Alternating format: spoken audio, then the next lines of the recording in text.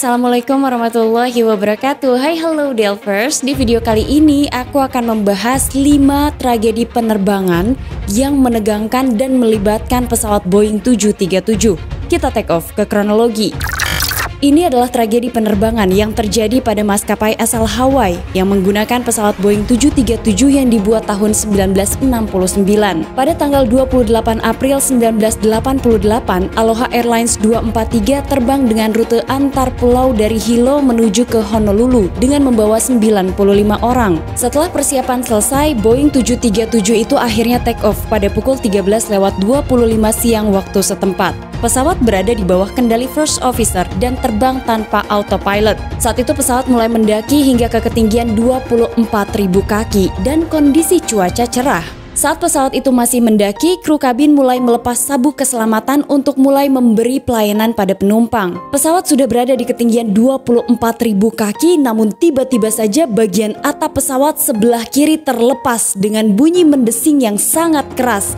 Atap pesawat itu robek dari bagian belakang kokpit hingga bagian depan sayap pesawat. Kedua pilot bahkan bisa melihat birunya langit di bagian belakang kokpit. Seketika terjadi dekompresi di pesawat itu. Para kru kabin yang sedang berdiri melayani penumpang ada yang terjatuh, tertimpa puing-puing atap pesawat yang terlepas hingga mengalami luka berat di kepala dan salah satunya tiba-tiba menghilang karena tersedot saat atap pesawat robek dan terlepas. Situasi di dalam pesawat yang robek itu kacau dan menegangkan.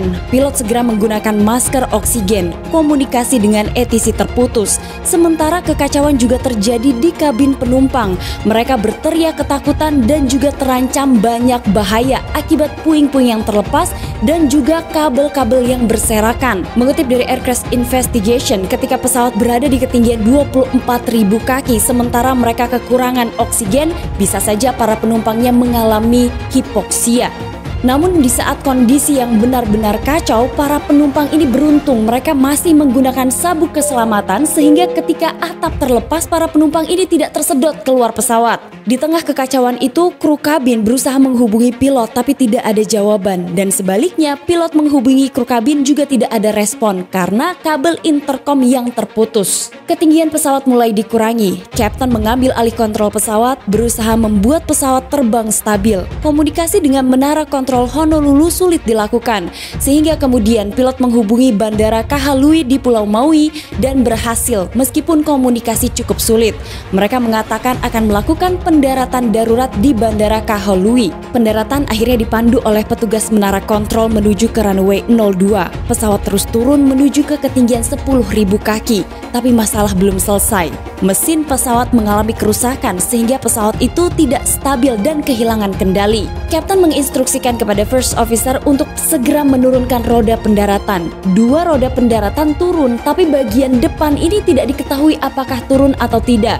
Beruntung, layanan kedarurat kedaruratan bandara yang sudah standby di dekat runway 02 terus memantau penerbangan tersebut dan menginformasikan kepada pilotnya bahwa roda pendaratan bagian depan telah turun. Namun ketika pesawat itu berjarak sekitar 4 mil dari bandara, pesawat itu kembali tidak stabil. Pesawat bergetar dan kapten menginstruksikan agar kecepatan pesawat itu ditambah. Pesawat Boeing 737 milik Aloha Airlines itu berhasil mendarat di runway 02. Akibat peristiwa tersebut, seluruh penumpang dinyatakan selamat.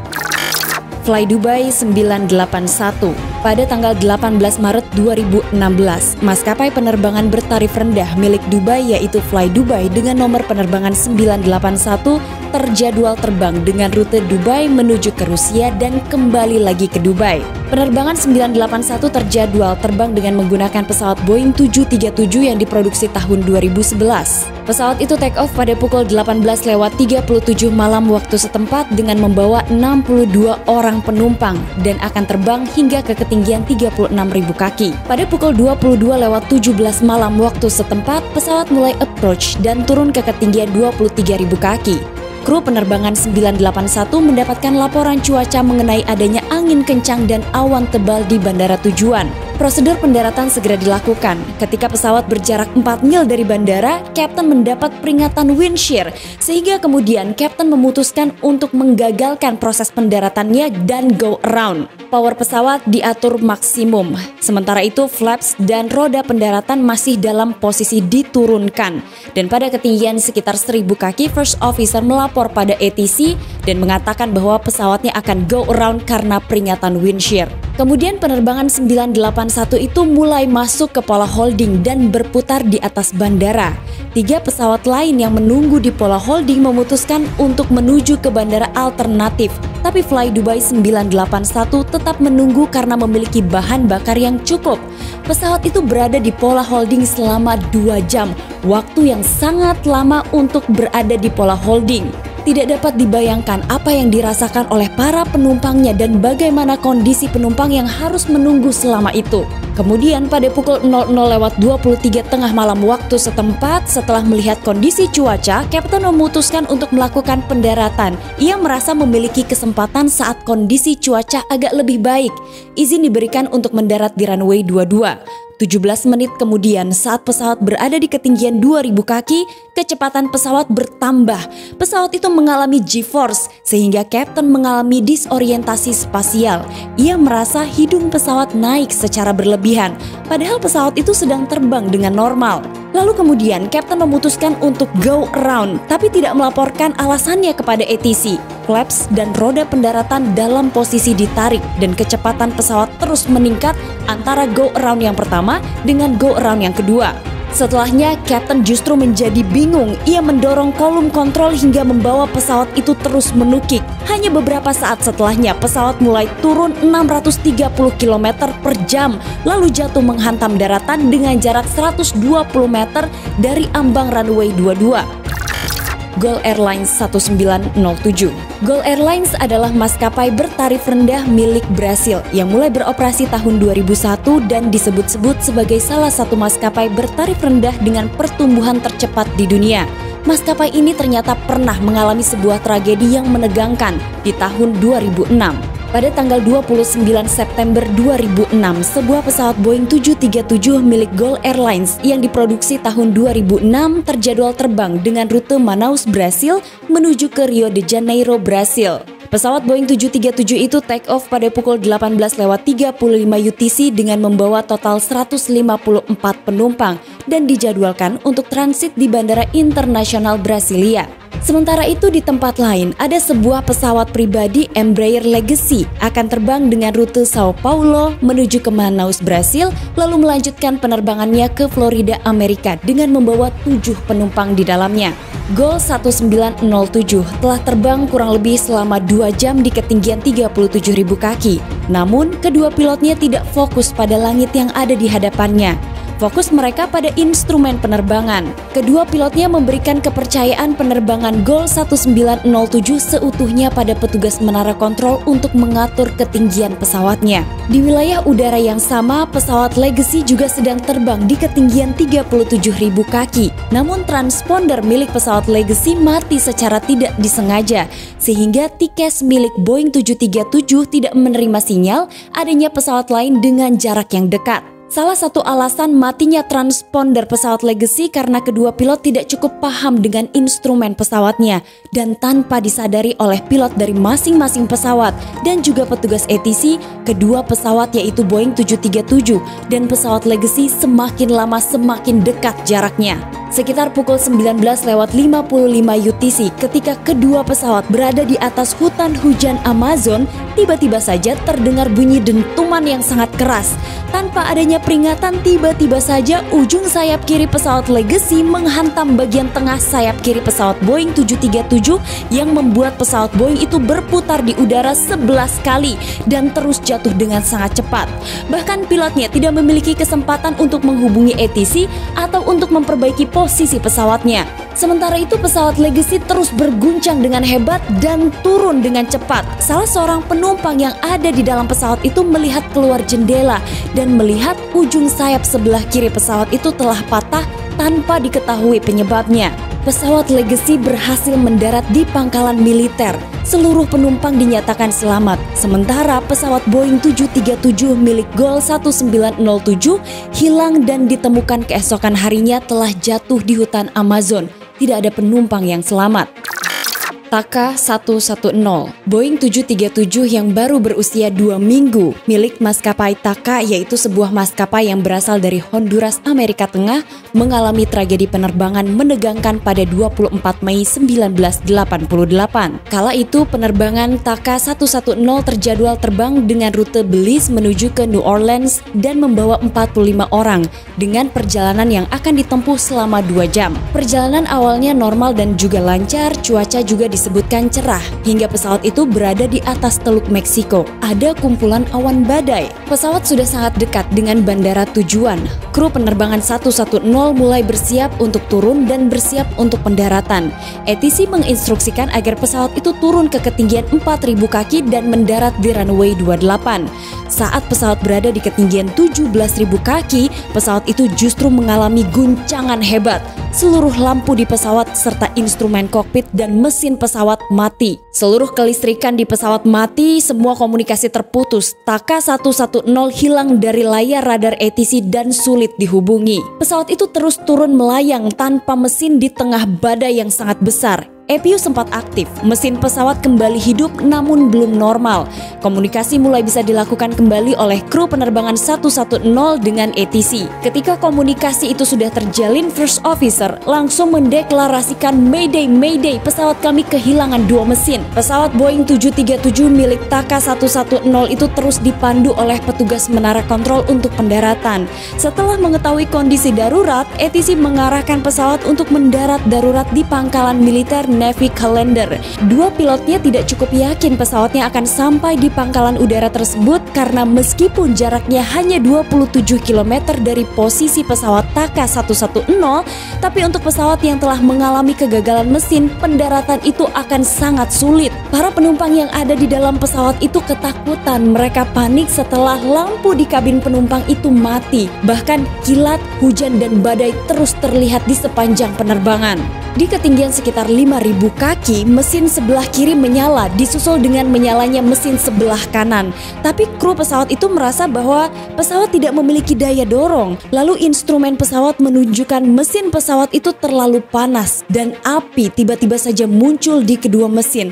Maka kapten memutuskan untuk mematikan kembali kedua mesin tersebut sehingga pesawat itu lagi-lagi harus terbang melayang. Pesawat itu mulai turun dengan cepat. Di ketinggian 3000 kaki, Kapten tidak memiliki lagi waktu untuk merestart mesin pesawat. Yang terpikir oleh Kapten saat itu adalah di mana ia harus mendaratkan pesawatnya dengan aman. Sementara sejauh mata memandang yang dilihat hanyalah air.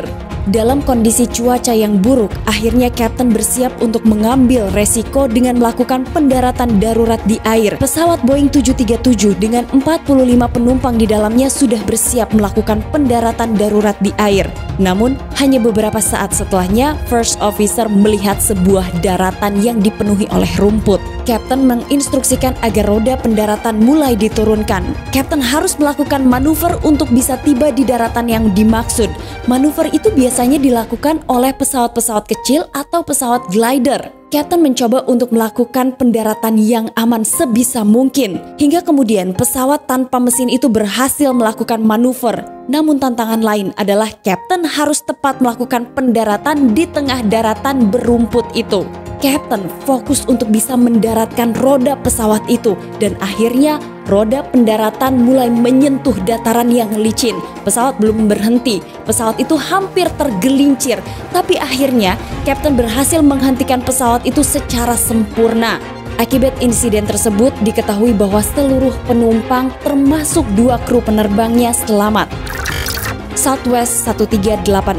Sebuah tragedi penerbangan di tahun 2018 viral setelah salah seorang penumpangnya merekam detik-detik menegangkan ketika sebuah pesawat milik maskapai Amerika kehilangan salah satu penumpangnya yang setengah badannya tersedot keluar jendela. Southwest Airlines 1380 terbang dengan rute Bandara LaGuardia New York menuju Dallas Love Texas pada tanggal 17 April 2018 dengan menggunakan pesawat Boeing 737 pesawat itu membawa 149 orang. Pesawat Boeing 737 itu take off di cuaca yang cerah dari Bandara LaGuardia pada pukul 10 lewat 42 siang waktu setempat. First officer bertugas sebagai pilot penerbang. Lalu kemudian pada pukul 10 lewat 57 siang waktu setempat, pesawat itu diinstruksikan untuk naik ke ketinggian 38.000 kaki. Kemudian 6 menit berikutnya, tepatnya pada pukul 11 lewat 03 siang waktu setempat, terdengar bunyi ledakan yang sangat keras. Pesawat itu bergetar dengan hebat dan miring ke kiri disusul dengan asap atau kabut yang memenuhi pesawat. Kemudian, kabut dan asap itu menyulitkan pilot untuk melihat instrumen pesawat. Terjadi dekompresi di penerbangan 1380. Salah satu mesin kemudian mengalami kerusakan, sehingga tenaga mesin dan ketinggian pesawat harus diturunkan. Penerbangan rutin dari New York menuju ke Dallas menjadi sebuah penerbangan yang menegangkan. Pilot segera melapor pada ATC akan melakukan pendaratan darurat di Bandara Philadelphia. Sementara itu, di kabin penumpang, para penumpang dikagetkan dengan bunyi ledakan dan guncangan hebat. Terdengar bunyi bising dan terlihat asap atau kabut. Masker oksigen segera turun dan seluruh penumpang diinstruksikan untuk segera menggunakan masker oksigen. Meskipun kondisi di kabin penumpang itu kacau, tapi kru kabin terus melakukan pemeriksaan setiap baris kursi penumpang. Lalu salah seorang kru kabin ini dikagetkan setelah melihat salah seorang penumpang yang duduk di baris sebelah kanan dekat jendela, sebagian tubuhnya telah tersedot keluar pesawat. Beberapa penumpang yang duduk di barisan yang sama dengan penumpang tersebut bahkan sempat melihat tangan dari penumpang yang tersedot itu melambai di samping jendela pesawat. Hal itu terjadi karena sabuk keselamatan yang terpasang di penumpang tersebut mencegah penumpang itu terlempar keluar dari pesawat. Beberapa penumpang sibuk untuk membantu kru kabin memegangi penumpang yang baru saja tersedot keluar dari pesawat. Maka ketinggian pesawat diturunkan dan kecepatan pesawat mulai melambat setelah pilot diinformasikan mengenai tersedotnya salah satu penumpang keluar jendela. Prosedur pendaratan segera diatur, namun pesawat masih terlalu cepat untuk mendarat. 147 nasib penumpang ini sedang bergantung pada dua pilot penerbangan. Pesawat masih terlalu cepat untuk mendarat dan kondisi first officer tidak stabil. Ia tidak percaya bahwa ada salah seorang penumpangnya yang tersedot di dalam penerbangannya. Hingga kemudian Captain memutuskan untuk segera mengambil alih kontrol penerbangan. Kaca pesawat pecah.